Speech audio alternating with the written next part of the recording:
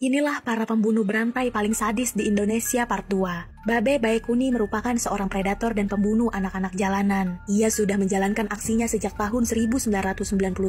Tampilan luar Baekuni sukses menipu banyak orang. Ia terlihat seperti orang baik hati yang menyayangi anak jalanan. Tapi semua itu hanyalah topeng untuk menyembunyikan jati dirinya. Kebaikan yang ia tunjukkan hanyalah modus untuk menjebak para korban. Ketika korban sudah terjerat, Baekuni langsung menghabisi nyawa korbannya. Setelah korban tak bernyawa, Baekuni melakukan pelecehan terhadap tubuh korban-korbannya. Kejahatan Baekuni terungkap pada Januari 2010. Ini terjadi setelah warga menemukan potongan tubuh anak laki-laki di banjir Kanal Timur. Anak laki itu bukanlah korban pertama Baikuni. Sejak 1993 ada 14 anak yang menjadi korban aksi keji Baikuni. Empat diantaranya merupakan korban mutilasi.